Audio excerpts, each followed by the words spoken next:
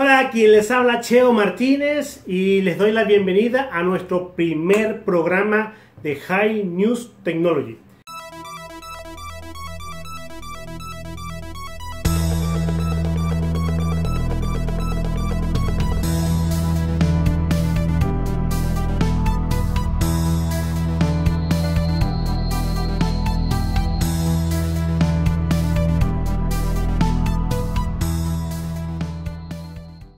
Un programa de High Studio, ¿vale? Y damos las gracias a las personas que hacen posible este programa, a nuestro amigo desde Venezuela, Eduardo Ruiz, a nuestra, nuestra amiga Erika Chacín, al grupo de, eh, de, trabajadores de redes, eh, también Alexander, que, Alexander Noguera, que es la parte de, diseño gráfico, junto con nuestro amigo, eh, nuestro amigo Oscar.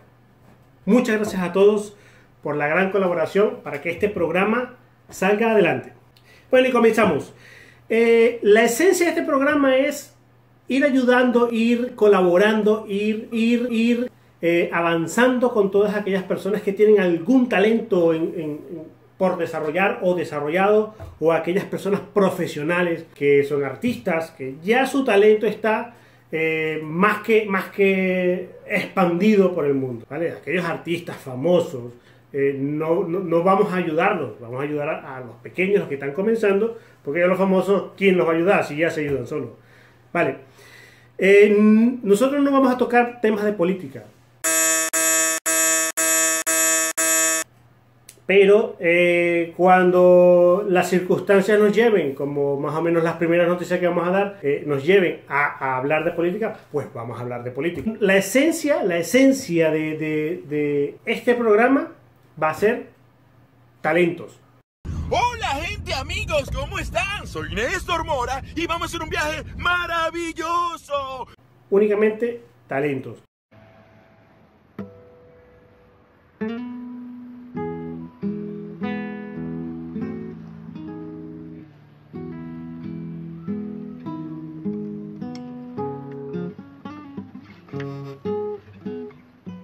Vamos a tocar el tema de tecnología porque justamente las personas que nos pueden ayudar a desarrollar nuestro talento trabajan con tecnología, trabajan con teléfonos, trabajan con cámaras, trabajan con luces, trabajan con micrófonos, trabajan con muchas partes técnicas que nos ayudan a desarrollar nuestros productos.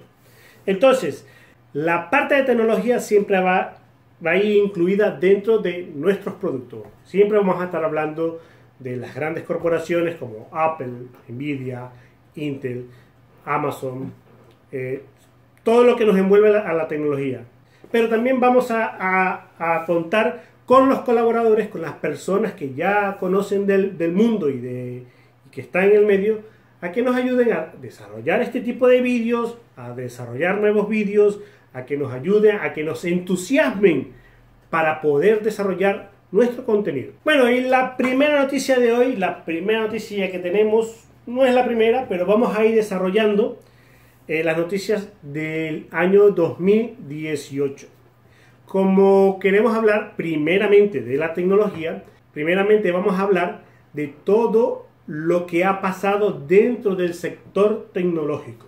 Y vamos a comenzar con lo que no queremos hablar, que es la política, vamos a comenzar hablando del presidente Donald Trump, el presidente de los Estados Unidos. El presidente Donald Trump en el mes de abril de este año 2018 ha impuesto unos aranceles al gigante asiático a mil productos chinos por un valor de 50 mil millones de dólares. China a su vez impone también aranceles pero a 128 productos por una cantidad de 3 mil millones de dólares. ¿Qué hace esto dentro del mercado? El mercado bursátil de los Estados Unidos comienza a subir, el mercado bursátil de China comienza a bajar. La moneda americana dólar comienza a ganar terreno ante todas las divisas y la moneda china yuan comienza a perder ante las otras divisas. Y todo el mundo comercial comienza a tener un gran temor por, una, por el inicio de una guerra comercial. En septiembre, el presidente de los Estados Unidos, Donald Trump, impone nuevos aranceles por el monto de 200 mil millones de dólares. China a su vez pone nuevos aranceles a productos americanos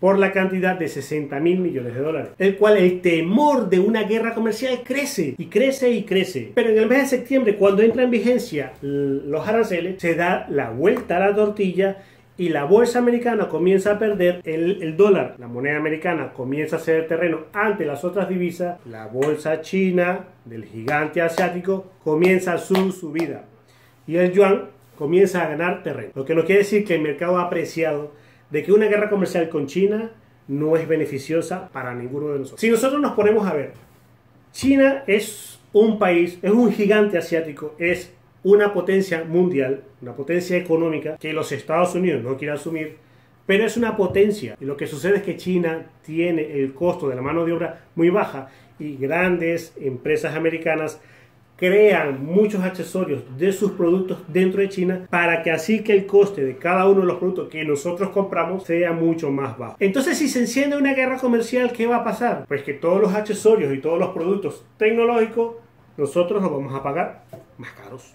Pero el pasado viernes 2 de noviembre hubo una solicitud de negociación de Estados Unidos y China, la cual el mercado no aceptó porque no hubo grandes cambios. Lo que quiere decir es que a grandes rasgos ya el mercado ha asumido de que se, se avecina una guerra comercial y que los usuarios vamos a pagar más por nuestros productos, por nuestros teléfonos, por nuestras luces, por nuestras eh, cámaras, ordenadores, todo lo que usamos nosotros para crear este tipo de vídeos. Una noticia que también nos dieron la semana pasada es que dentro del mercado bursátil a nivel mundial se han escapado 200 mil millones de dólares. Eso a nivel bursátil no es casi nada, pero representa mucho dinero. También hemos visto en la semana pasada, bueno, en las semanas anteriores que la empresa Apple, la empresa del billón de dólares, ha caído sustancialmente. Ayer justamente perdió 200 millones de dólares. Otro gigante americano que es Amazon estuvo muy cerca de conseguir los 2 billones de dólares. Y esto hacía grandes rasgos las noticias económicas para comenzar de lleno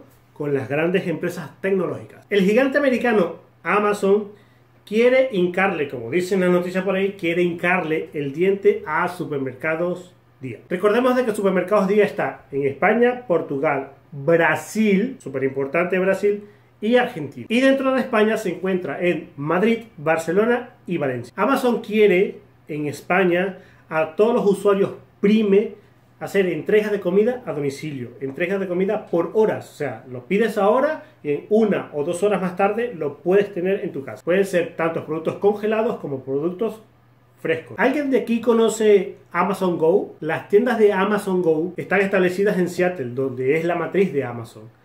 Y con únicamente la app, tú entras al supermercado, pasas la app por donde debería ir el troquel, coges lo que quieras dentro del supermercado y cuando sales te dice, usted ha gastado tanto, se lo vamos a descontar de su cuenta. Si volvemos aquí a Europa, eh, Amazon con supermercados día, con la entrega de productos frescos en horas, será un producto pionero en Europa. Ojalá lo hicieran aquí en Alemania porque nosotros gastamos dos o tres horas en un día para hacer mercado. No hay manera en Alemania de que te traigan la comida a casa. ¿Por qué? Y vamos con otro de los gigantes de la tecnología de los Estados Unidos. Es Facebook. Facebook sigue sumando usuarios a, su, a su, plataforma. Eh, ha sobrepasado los 1.350 millones de usuarios suscritos. Lo que no está logrando nuestro amigo Facebook es que la gente siga enganchada tantas horas como lo hacían antes. Antes todavía existen eh, programas de que te desenganchan del Facebook. Pero ahora las personas visitan mucho menos Facebook que antes. ¿Quién está ganando terreno? Señores, el Instagram. El Instagram ya se ha sumado a los más de mil millones de usuarios.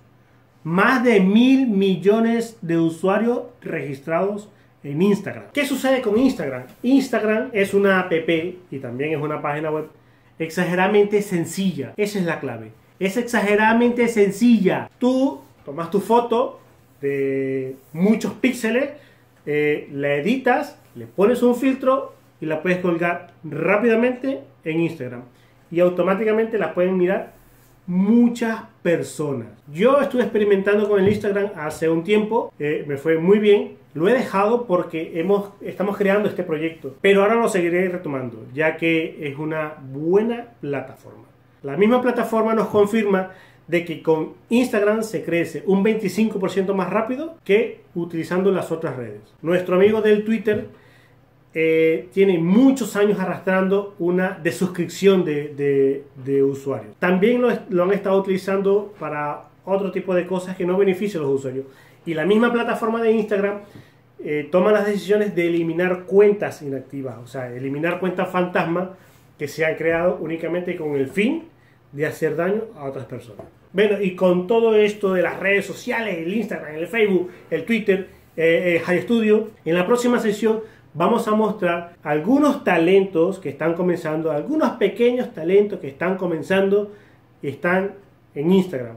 Los vamos a mostrar tanto en Instagram, en YouTube, en Twitter, donde tengan las redes sociales. Vamos a ir mostrando a esos, esos mm, talentos, cantautores, artistas que hacen parodias, que hacen comedias, que hacen chistes pequeños. También vamos a mostrar a aquellos artistas que ya son profesionales, que ya tienen una estructura y nos vamos a fijar en cómo hacen su trabajo para que las personas que quieran hacer un trabajo parecido puedan desarrollarlo. Y aquellos todos profesionales que quieran brindar ese apoyo, vamos a poder hacer unas entrevistas para que apoyen y refuercen el talento que se está desarrollando en las redes sociales. Y queremos despedirnos dándole las gracias al equipo de benaventur.com. Benaventur.com es un portal web de alojamientos que se encuentra en Sudamérica y muy pronto va a estar en Europa. Benaventur.com, sus mejores lugares de hospedaje.